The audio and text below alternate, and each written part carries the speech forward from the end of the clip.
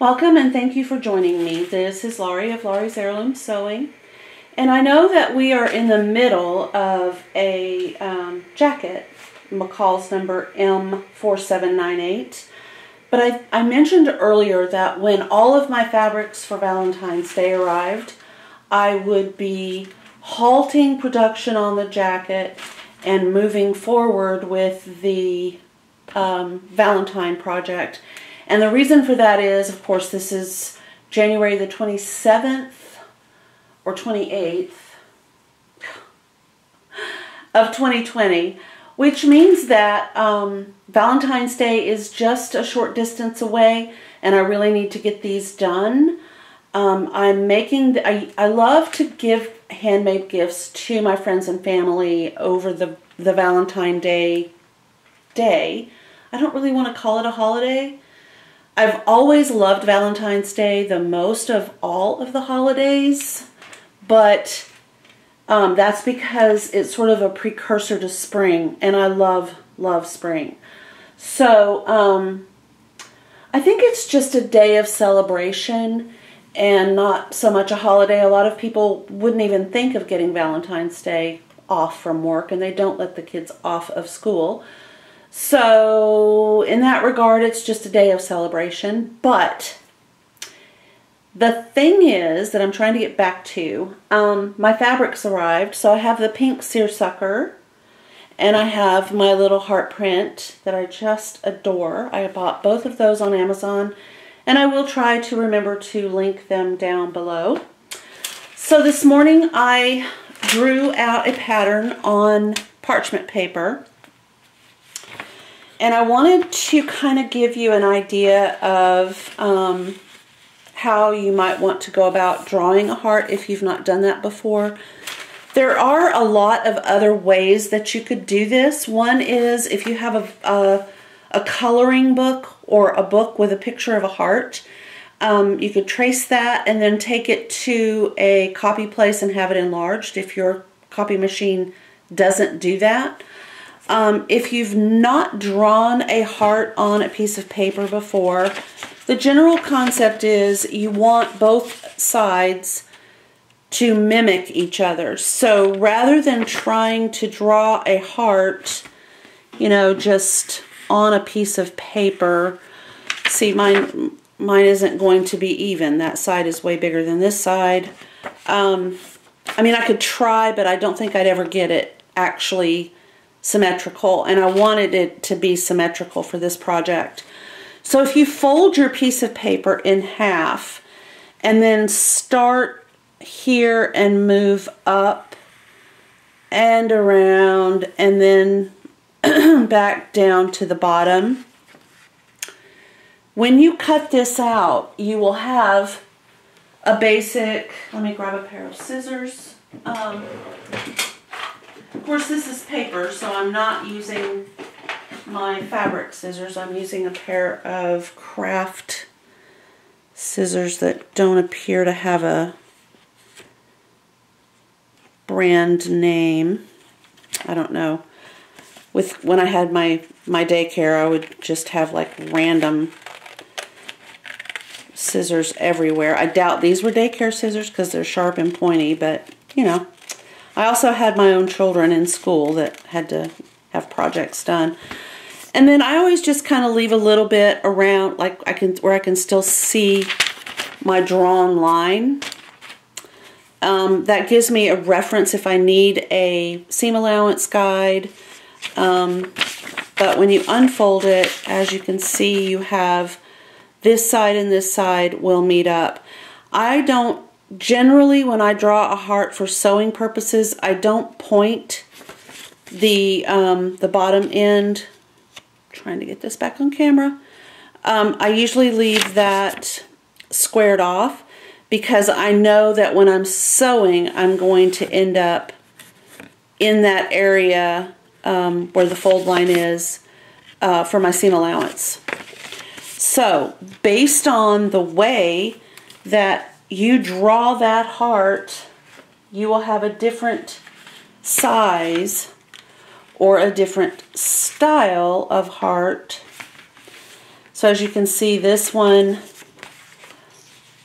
I started a, a little bit lower down on this piece of paper. But if you start up here and you just sort of curve around, the whole shape will change.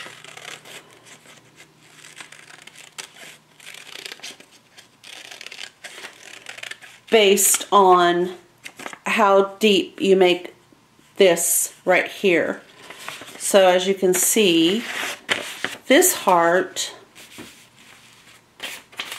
and this heart are very different in their the way they're styled.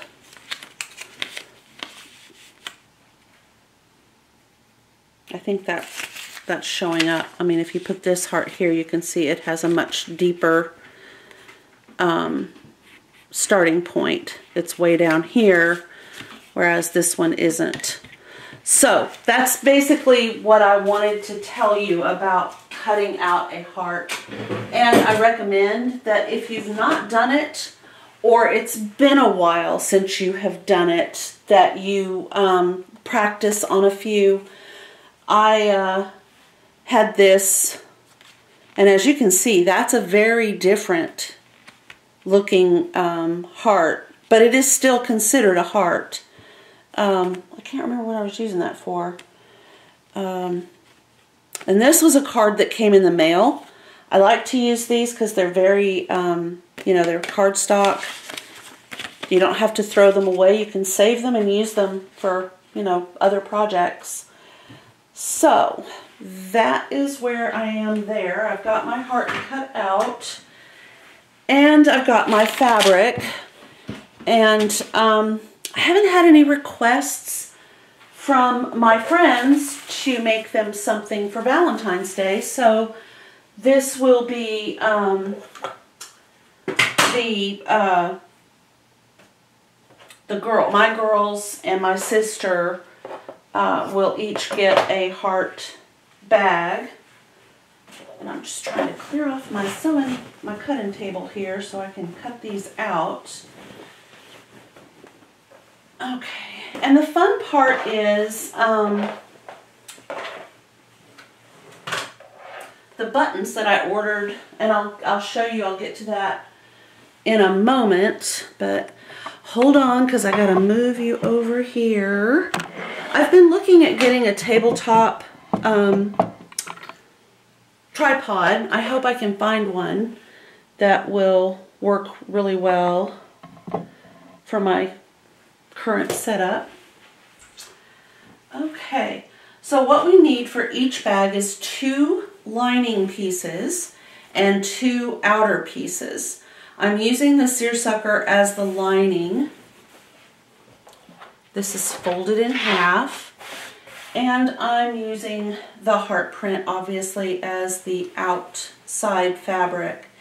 And then I'll need one strap for each of the bags which in my case I'm probably going to end up using the seersucker but I'm oh, I thought that was a that's cute um, I thought it was a thread and it's a part of the design okay and I'm just going to line these up one on top of the other. You also will need some fusible interfacing. I'm going to use some fleece. I want it to have a little bit of, um, you know, not, it doesn't have to be super stiff. This little bag actually is, you know, probably going to get used during the month of February and then put away and then brought back out again during the month of February. So it's not something that's going to get a lot of heavy use. Unless you're me, in which case, you know, you'd use it every day until it was just tattered and torn because I love Valentine's Day so much. Okay, so here I have some fusible interfacing that I think for each bag, um, I'm going to trim this up just a bit. But I think each bag I should have um, uh, one piece on each of the of the sides. of interfacing. So if I don't have enough, which yeah, I don't think I'm going to, unless I piece it, which I could easily do. I've got lots of little pieces here I can just kind of fuse, which we all do. Okay, I'll trim this. All right. Okay, but that that I definitely think you would want is you you're definitely going to want some fusible interfacing on your project. Um, looking to see what I have. I've got quite a bit of different weights of interfacing. Um,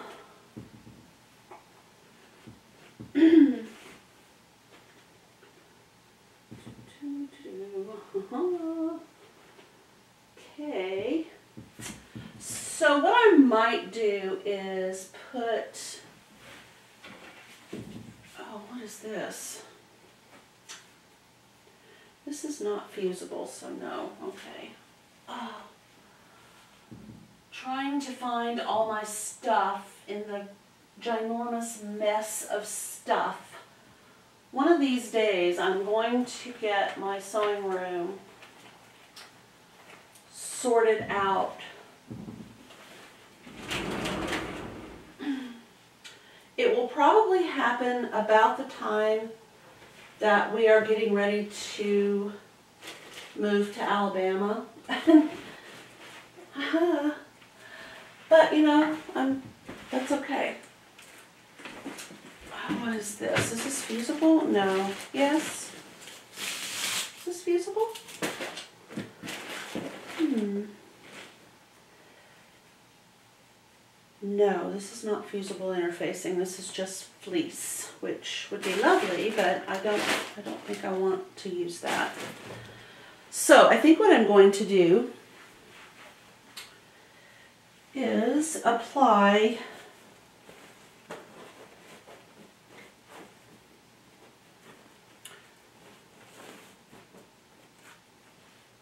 because I know I have several batches of this.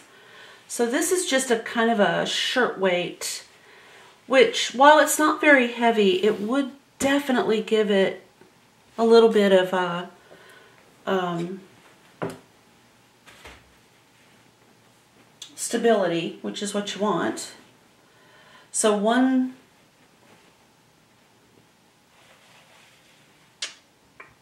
yeah, that's what I'll do. I'm kind of thinking and walking around at the same time, which I know those jokes. Yes, I do. Um, if you make the joke, you have to come help me clean my sewing room. Not clean it, but organize it. That's the rule. Okay. Oh, wait. Let's see.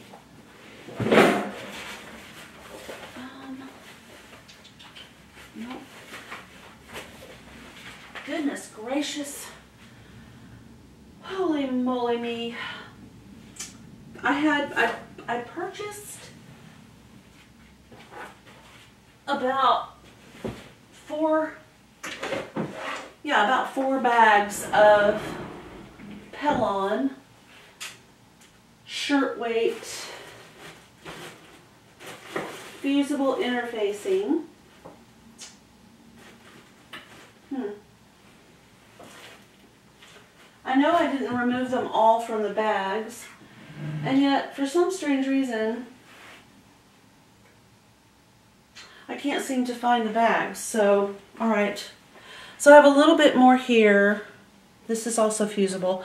So I'm just going to have to make do with what I've got as far as that goes. I'll figure that out. Um, I need my pattern, which we talked about. Okay, there we go. All right, so my suggestion is that you put, um, this looks like, to me, um, the hearts are primarily just sort of tossed. But my eye is going to the one that has the bow. So I'm, I'm kind of making sure that I have that in my, my vision. And since I'm using a stripe, I also want to make sure that I have the stripes going um, the same direction for both pieces. I mean, obviously on a fold you're going to, and because it is a lining, that you don't have to cut it, you don't have to fussy cut those stripes unless you just need to do that. I, I'm not going to be that fussy about it. Normally you would cut a stripe fabric, if it were the outer fabric, you would cut it in a single opening so that you would know you were getting exactly the same cut every single time. But that's not necessary for my purposes um, in this project. I'm just trying to get all of my supplies. Okay. And I'm going to pin this down. You may have a, a you know, a, an issue with your um, your pins going through this parchment paper. Uh, that's another reason why I don't use it for clothing unless I'm going to use weights. And by weights, I mean um, I usually just use my kitchen, um, the knives that we use when we eat meals, you know, those kitchen knives. Not sharp ones, but the ones that come with your with your set, your forks and spoons and knives. Okay. I want to make sure that I get these right on the fold exactly the same. So I'm kind of taking care to do that. Okay.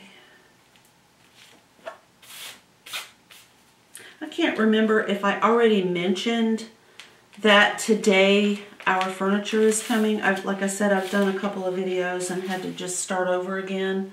And I can't remember which ones I've mentioned that in. Um, but once the furniture is here, um, I have a, a, few boxes that I have to go through, but once it's here, I'll be able to uh, get that dealt with. Okay.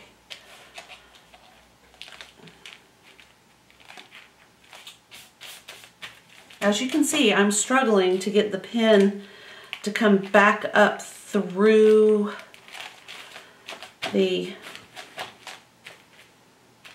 um, the parchment paper, so I'm not going to keep doing that. Um, it's not working, and I'm, I'm not going to battle with that.